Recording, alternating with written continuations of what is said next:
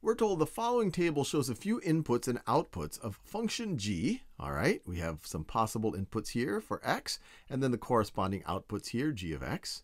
What is the value of g inverse of 54?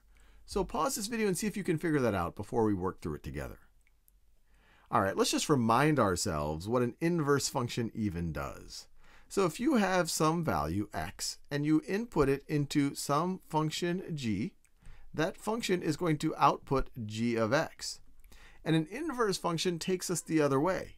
We could take this, what was the output of g, g of x, we can input that into an inverse function, the inverse function of g, and that is actually going to give us x. It's going to get us back to our original input right over here. So what we're focused on right over here is g inverse of 54. So we can think about this part of this little chain that we set up. So what we're inputting into this inverse function is 54. So what we want to say is, all right, when g of x is equal to 54, what is x? And we can see that right over here. When g of x is 54, the corresponding input, original input, one way to think about it, is 62. So this will be equal to 62.